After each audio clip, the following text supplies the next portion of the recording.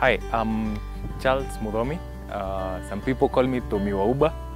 And uh, I had Newlands, NU Lands, through the Pearl Radio, uh, through Danko and Tina. Uh, it's very inspiring uh, radio station.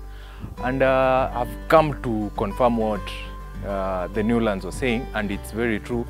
Phase one, phase two, they're already sold out and they're very nice. Now we're on phase four.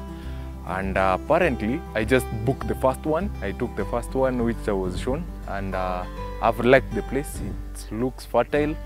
It's a place where you can develop your land, you build your own home, and uh, yeah. And also, there's a very nice view of Kilimambogo. So, yeah, I have appreciated what the Nulands have done. It's a very good work, and I also have peace at heart that, that they are good people, and I trust them.